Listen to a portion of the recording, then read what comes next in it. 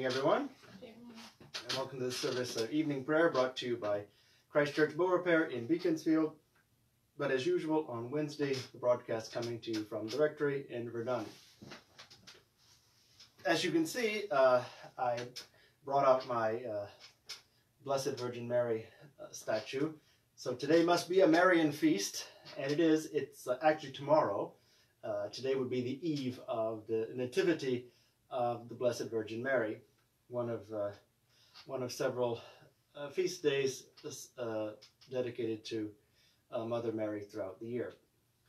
Today we'll be using uh, the U.S. Episcopal Prayer Book, 1979, Rite One, the traditional language service, and the link is there in the refresh. Discussion, the, event page. Our service begins on page 61.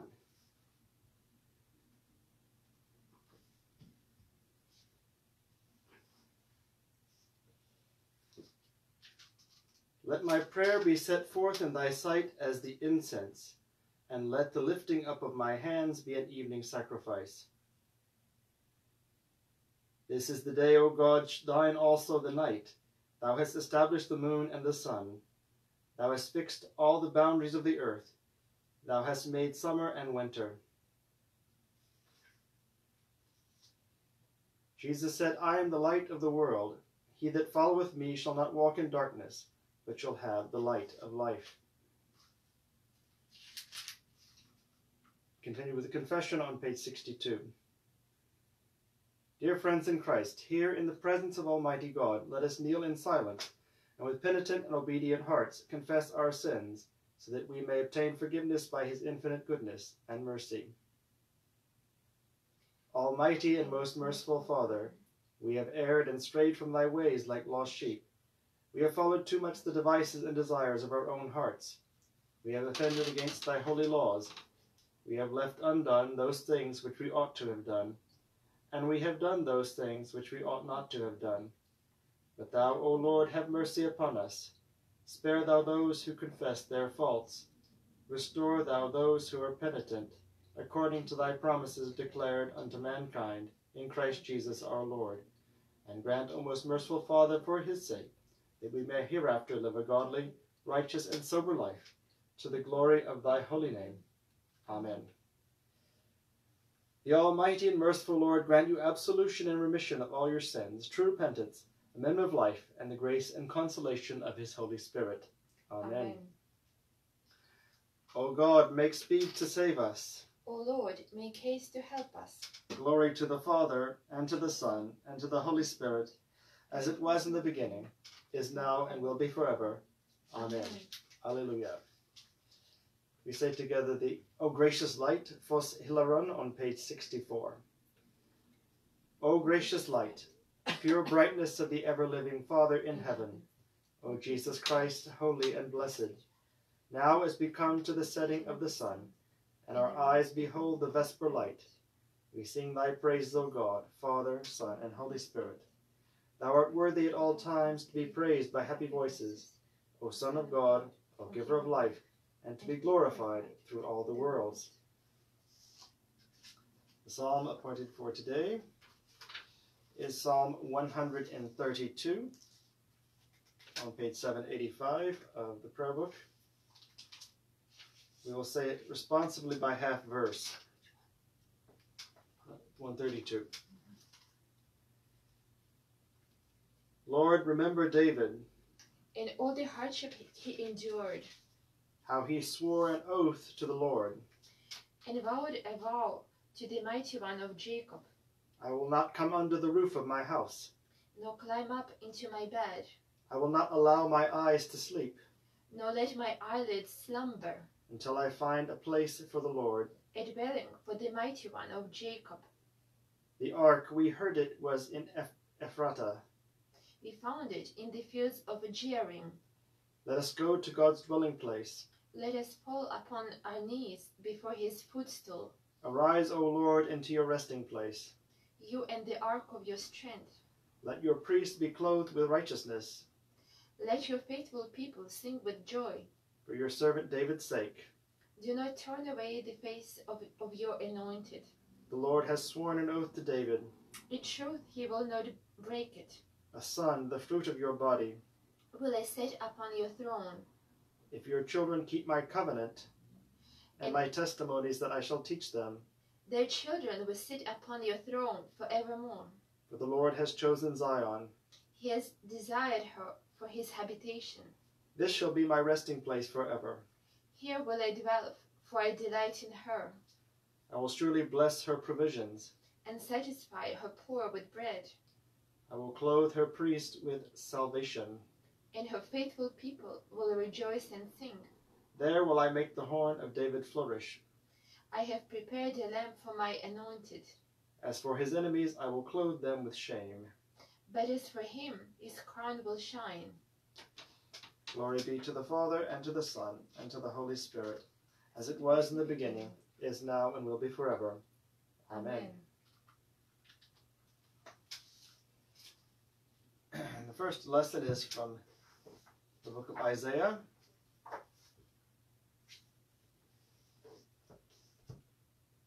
Chapter 61, verses 9 through 11. Isaiah 61, 9 through 11.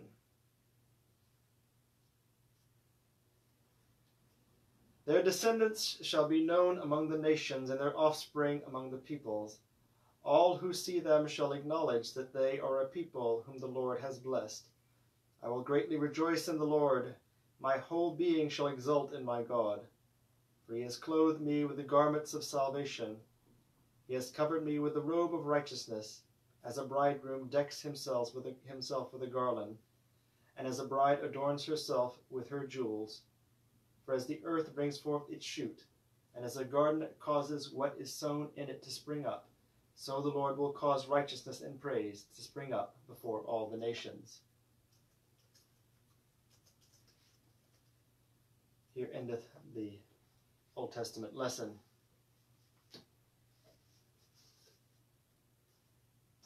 We, continue with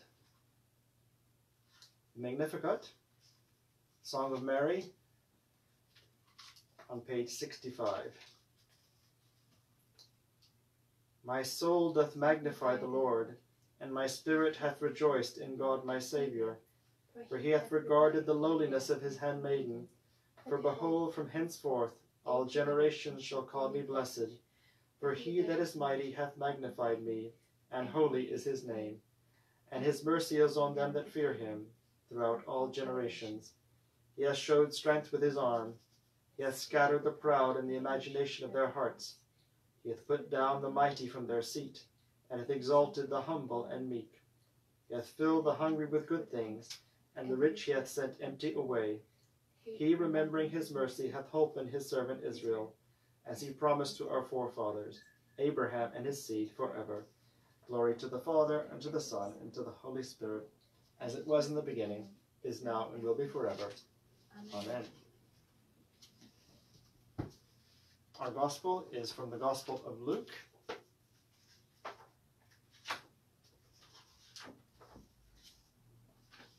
Luke 1 26 through 33.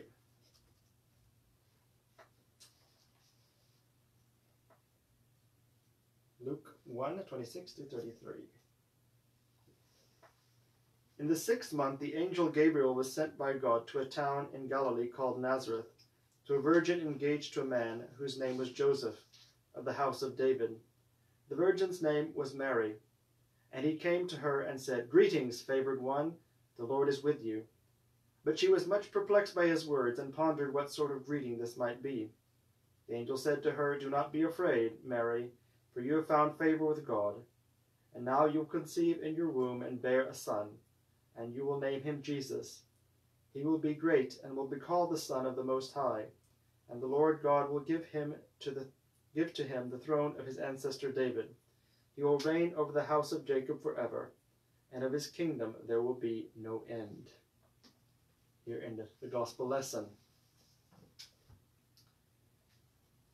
Say together the Nunc Dimittis.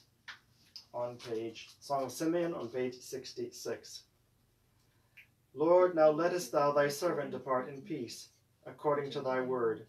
For mine eyes have seen thy salvation, which thou hast prepared before the face of all people, to be a light to lighten the Gentiles, and to be the glory of thy people Israel. Glory to the Father, and to the Son, and to the Holy Spirit, as it was in the beginning, is now, and will be forever. Amen. I'll read the, um, not really biography, but the expl- explanation of this Saint's Day, this feast day. The Nativity of the Blessed Virgin Mary, 8th September. A legend dating from the second century tells this story about the birth of the Blessed Virgin Mary. Once upon a time, there was a Jewish couple named Joachim and Anne. They were elderly, and their neighbors approached, reproached them for not having any children. But God heard Anne's lament and sent an angel to her. You shall conceive and bear, and your offspring shall be spoken in, of in all the world. Anne responded, As the Lord my God lives, if I bear a child, whether male or female, I will bring it as a gift to the Lord my God, and it shall serve him all the days of its life. And so it came to pass that Anne conceived, and when the time was fulfilled, she gave birth to a daughter and named her Mary. Both parents vowed to dedicate their child to the service of God, and when she was three years old, they presented her in the temple at Jerusalem. And the high priest placed Mary on the third step of the altar, and the Lord God put grace upon the child, and she danced for joy with her feet, and the whole house of Israel loved her. Such is the le- legend of the Nativity of the Blessed Virgin Mary, and we continue to tell the story because it bears witness to a deeper truth of faith that Mary herself was the daughter of Israel's hope and the child whose offspring would fulfill the longing of the whole family of creation. name of the Father, and of the Son, and of the Holy Spirit. Amen. Amen.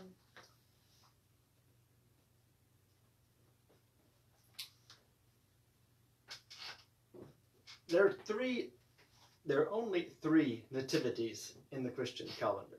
Now, there are many saints' days, uh, and usually saints' days are the day of the saint's death. So, the the feast day of Saint Paul or Saint Peter, uh, those are the days when they were martyred, or you know some other saint, you know I don't know, Saint Thomas Aquinas, for example, who wasn't martyred. Uh, it's just the day that they died, and that's the normal way that saints' days are observed. It's the day of the death of the saint, because that's there when they become a saint in heaven.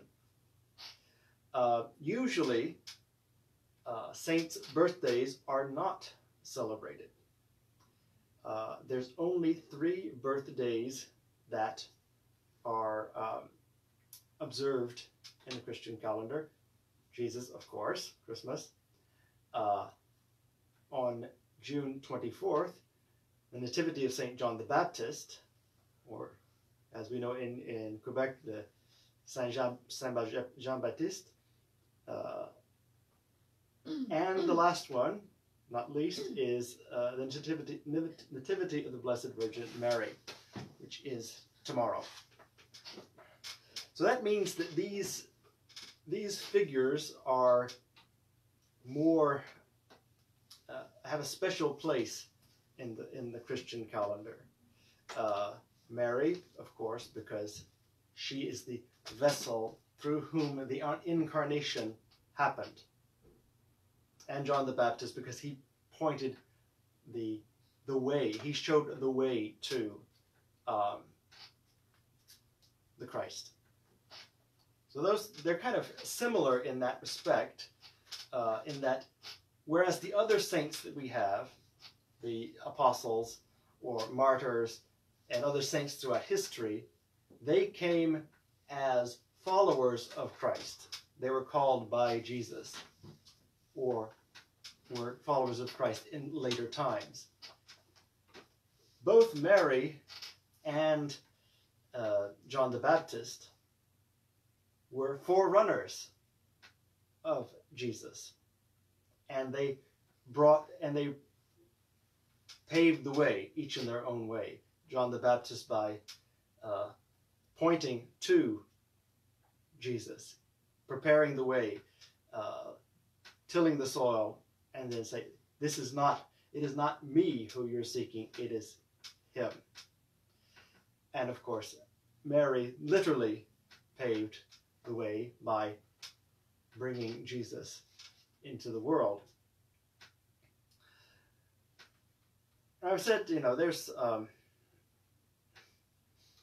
in the Protestant traditions, the uh, veneration of Mary kind of fell by the wayside, as often is the case when there's um, uh, when some sort of correction happens. Oftentimes, there's there's a tendency to go in the opposite direction.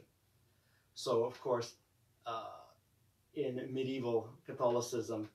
Uh, the veneration of the Blessed Virgin Mary had sometimes reached the point that it was uh, beyond, beyond or, or more than uh, that of, of Christ.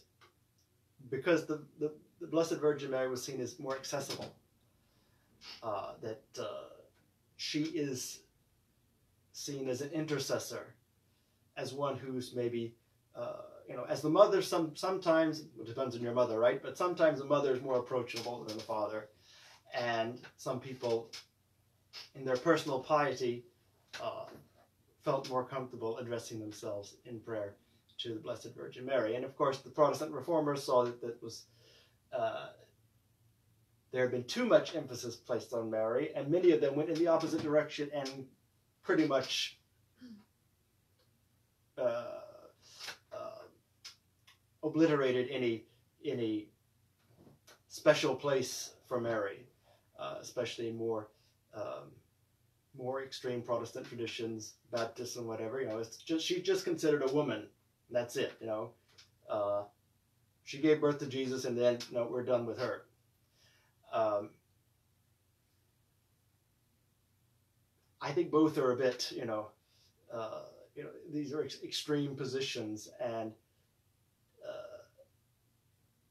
yes, she shouldn't be given, uh, shouldn't be treated as as almost a fourth person of the Trinity, but also she was not just uh, any any woman. That's not just a, you know a, a, a, footnote. Oh, she happened to give birth to Jesus. Um, what are we to make of these legendary accounts? You know, that's these came about through Christian piety that wanted to fill in the details. The Bible has doesn't really say uh, a lot about you know where she came from, uh, and of course, Christian piety being what it what it is, especially in the Middle Ages when people wanted to really flesh out everything. Of course, these these these stories uh, arose Perhaps they're based on some sort of fact. We don't know. Uh, but it's it testifies to the the importance of Mary, and that that it her uh, her role is not just uh, random. Just she happened to give birth to Jesus, and that's it. Uh, these these stories the, the purpose of these these legends, maybe they're true, is you know, is that she was chosen by God to be this vessel. It wasn't just a you know an accident. It wasn't random. She was chosen uh, to be to bear the Christ, to bear God. You know, in, in the Orthodox tradition, we say the Theotokos, which means the God bearer, literally. Um, and of course, along this line of reasoning is where the Catholic doctrine of um, the Immaculate Conception of Mary came about. Um, it's not one that that we necessarily hold to, uh, but uh, in the Catholic Church, it's taught that Mary was conceived without sin. The logic being to be in order to be able to bear God, she had to be conceived without sin. Uh, that's uh, not not a doctrine that Anglicans are are required to to to hold. Um, but it does it does point to the fact that she was chosen to bear the Christ. And this is not just important kind of in, historically or metaphysically. Because Mary is the first disciple of Christ. She is the first to say yes to the gospel message. And you heard me say before that Mary Magdalene was the first preacher of the gospel because she announced the resurrection. She attested the resurrection. But Mary is the first disciple because Mary, mother of Jesus, is the, is the first disciple because she is the first to say yes. It's not, you know, you know, she has to, she responds to God's call to her. She responds. But first, she was chosen. Her response did not make it happen. God had chose her for this purpose, and she responded in the affirmative. And that's how she she came to bear Christ, the God incarnate within her body.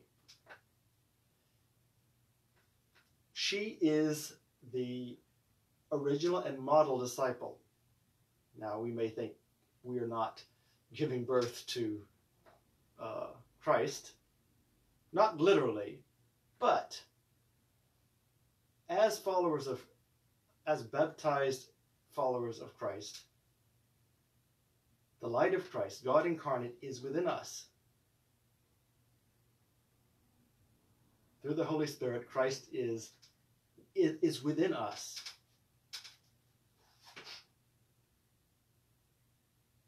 We are Christ bearers. So it's not just like, like I said, not just a historical, you know, fact or whatever, or theological fact about Mary. Mary is the archetype for us all. Because God, God's, God chooses us. That's how grace works. It's not, we don't, we're not the cause of it. God chooses us. God chooses us to be bearers of the Christ within us. And we respond in our and we respond to that to that call to us. And then we we bear Christ within us. We bear Christ to the world. That's what it means to be a disciple of, of Christ. So, you know, this is this this is something I think has been kind of neglected about the Blessed Virgin Mary. Uh, that kind of thinking of her only in her role in a certain time and place as bearing the you know giving birth to the historical Jesus, which is you know important, but it, her what she represents is the archetypal disciple, the number one disciple that shows us how we are to be. God God calls us for this purpose. And our example is Mary to say yes to God and to bear the light of Christ to the world around us. Amen. And now we're going to, not going to sing a hymn, but uh, Evgeny is going to sing for us uh, in Latin, Ave Maria, which is uh, not just a Catholic prayer, but it's literally from the Gospel of Luke, uh, from what we read today. Yes. Ave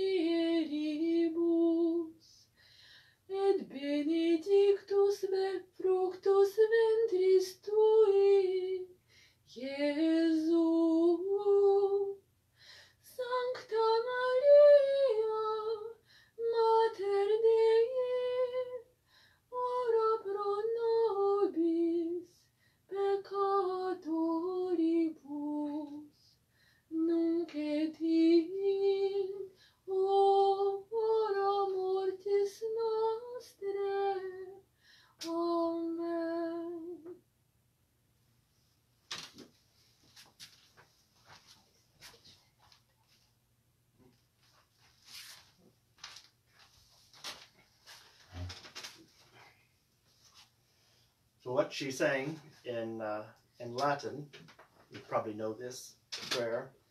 Hail Mary, full of grace, the Lord is with thee. Blessed art thou amongst women, and blessed is the fruit of thy womb, Jesus. Holy Mary, Mother of God, pray for us sinners now and at the hour of our death. Amen. The last part of that prayer is, was added later, but the first part is, is straight out straight out of the Gospel of Luke. We continue with the Apostles' Creed on page 66. I believe in God, the Father Almighty, maker of heaven and earth, and in Jesus Christ, his only Son, our Lord, who was conceived by the Holy Ghost, born of the Virgin Mary, suffered under Pontius Pilate, was crucified, dead, and buried. He descended into hell. The third day he rose again from the dead. He ascended into heaven, and sitteth on the right hand of God the Father Almighty. From thence he shall come to judge the quick and the dead. I believe in the Holy Ghost, the Holy Catholic Church, the communion of saints, the forgiveness of sins, the resurrection of the body, and the life everlasting. Amen. The Lord be with you. And with thy spirit. Let us pray. Our Father, who art in heaven, hallowed be thy name. Thy kingdom come, thy will be done, on earth as it is in heaven. Give us this day our daily bread, and forgive us our trespasses, as we forgive those who trespass against us. And lead us not into temptation, but deliver us from evil. For thine is the kingdom, and the power, and the glory, forever and ever. Amen. Suffrages A on page 67. O Lord, show thy mercy upon us. And grant us thy salvation. Endue thy ministers with righteousness. And make thy chosen people joyful. Give peace, O Lord, in all the world. For only in thee can we live in safety. Lord, keep this nation under thy care. And guide us in the way of justice and truth. Let thy way be known upon earth. Thy saving health among all nations. Let not the needy, O Lord, be forgotten. Nor the hope of the poor be taken away. Create in us clean hearts, O God. And sustain us with thy Holy Spirit. O God, from whom all holy desires, all good counsels, and all just works do proceed, give unto thy servants that peace which the world cannot give, that our hearts may be set to obey thy commandments, and also that by thee, we, being defended from the fear of all enemies, may pass our time in rest and quietness, through the merits of Jesus Christ our Saviour. Amen. Lord Jesus, stay with us, for evening is at hand and the day is past. Be our companion in the way. Kindle our hearts and awaken hope, that we may know thee as thou art revealed in Scripture and the breaking of bread. Grant this for the sake of thy love. Amen.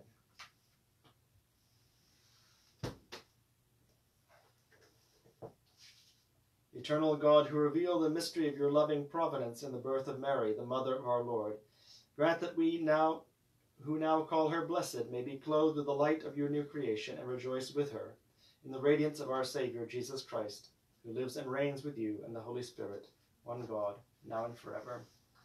Amen. Now is our time for intercessory prayer. If you have requests for prayers of healing or other support or thanksgiving, uh, type them in the comment section as we pray together.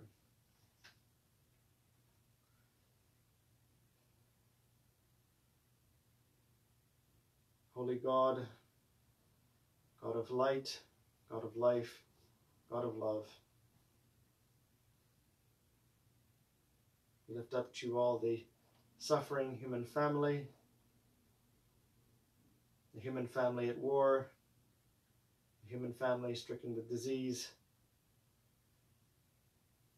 the human family infected with, with diseases of hate and, and prejudice.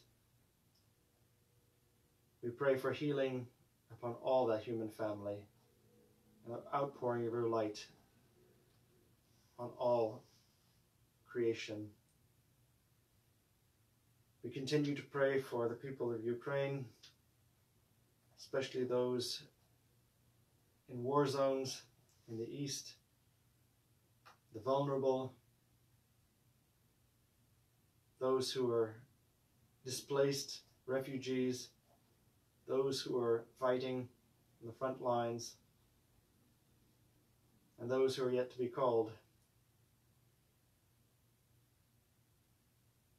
We pray for the people of Russia that some way, somehow, the truth and light may penetrate through the dark veil of misinformation and propaganda.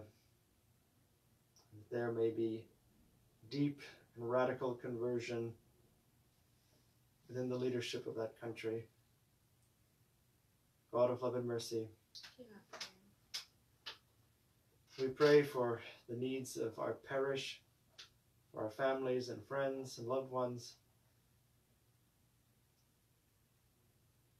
Pray for those in need of healing, mind, body, or spirit.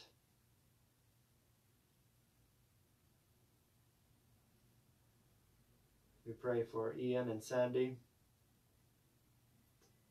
for Donna,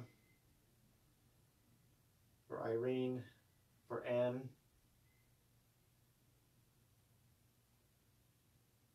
for Susan, for Kat,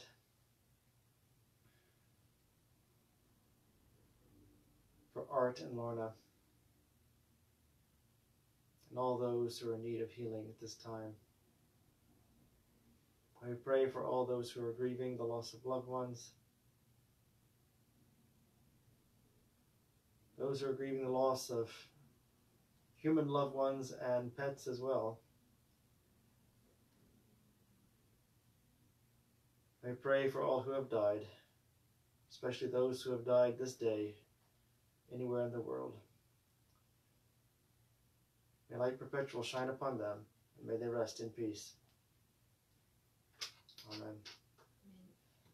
We are praying for everybody who will be traveling to Tolosa for the International Peace Festival and everybody who will be performing there.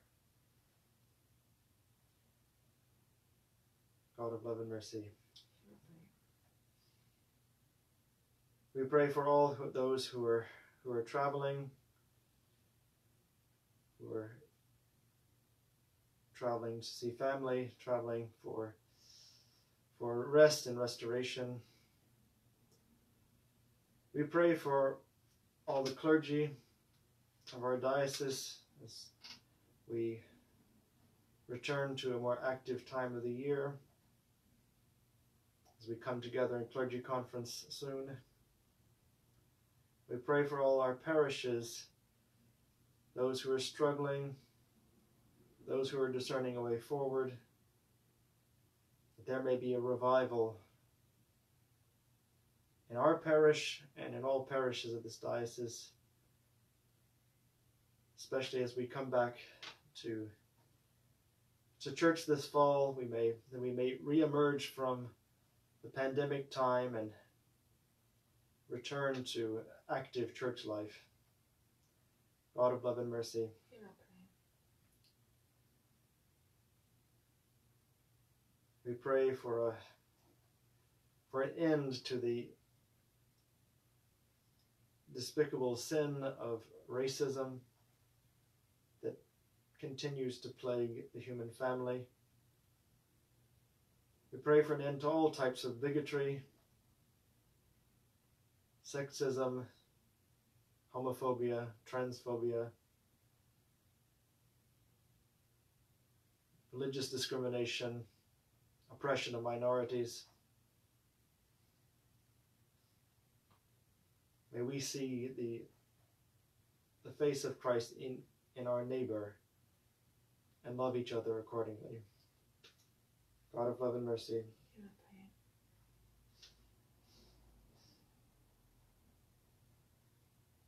pray for all our leaders, leaders of our country, of our province, of our cities, leaders of the world,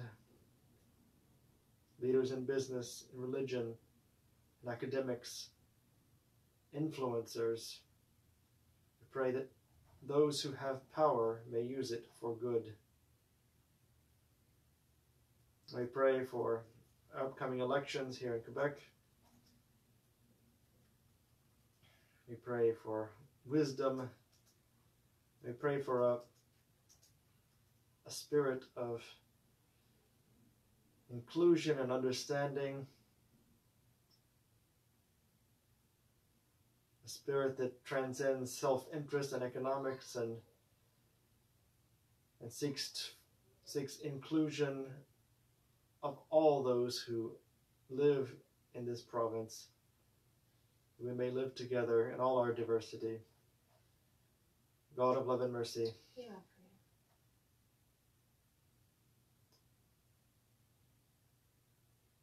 Gracious God, we pray for healing of our planet and inspiration of all members of the human family to do what is necessary, take the difficult steps to protect this, our only home.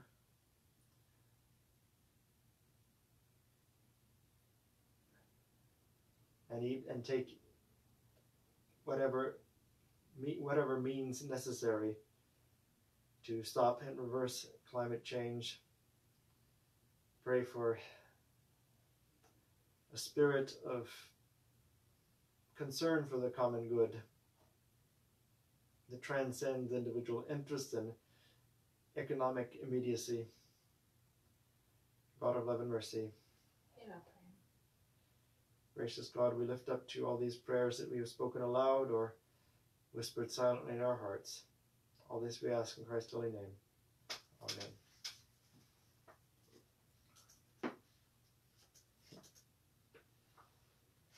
We continue with the general thanksgiving on page 71. Almighty God, Father of all mercies, we, thine unworthy servants, do give thee most humble and hearty thanks for all thy goodness and loving kindness to us and to all people. We bless thee for our creation, preservation, and all the blessings of this life, but above all for thy inestimable love in the redemption of the world by our Lord Jesus Christ, for the means of grace and for the hope of glory.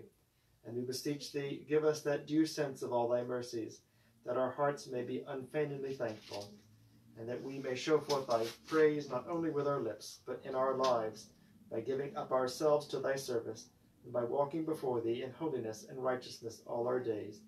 Through Jesus Christ our Lord, to whom with thee and the Holy Ghost be all honor and glory, world without end. Amen. Almighty God, who has given us grace at this time with one accord to make our common supplication unto thee, and hast promised th- through thy well-beloved Son that when two or three are gathered together in his name, thou wilt be in the midst of them.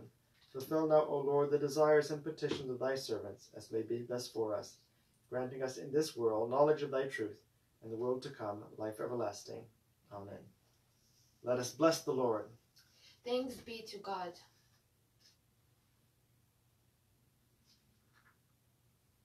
Glory to God, whose power working in us can do infinitely more than we can ask or imagine.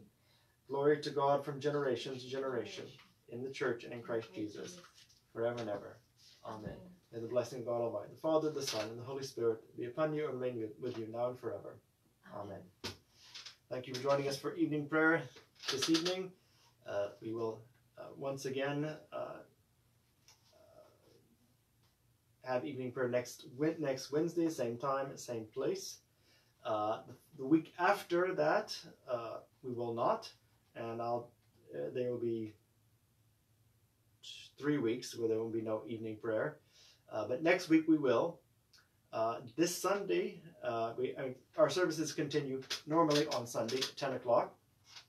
This Sunday is regular Sunday. On the 18th, September 18th, will be our Back to Church Sunday.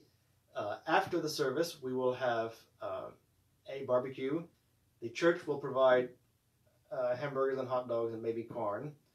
Uh, and we need all of y'all to to uh, bring other things, salads, desserts, uh, whatever. Uh, please sign up with the church office if you intend to bring something, and also please RSVP with the church office if you haven't signed up at church already. It's not you're not going to be turned away if you don't sign up in advance, but we just want to have an idea of how many people are coming. And I do hope that we'll have that all of you will will come for Back to Church Sunday. Let's have a a big turnout as we uh, we uh, we make some major steps to start to step away from COVID and step back in to active church life. And this is the, the, the, best time to do it. Start with Back to Church Sunday. It will also be an intergenerational service, so a child friendly service, as that will also be the, the kickoff of the Sunday school year. So, with uh, don't go away. Uh, to uh, to close our service, Yevgeny will sing Salve Regina, Hail Holy Queen.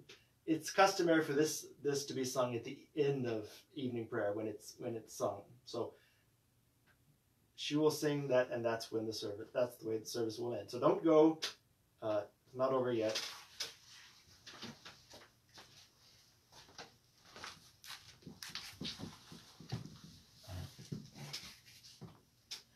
Salve Regina, Mater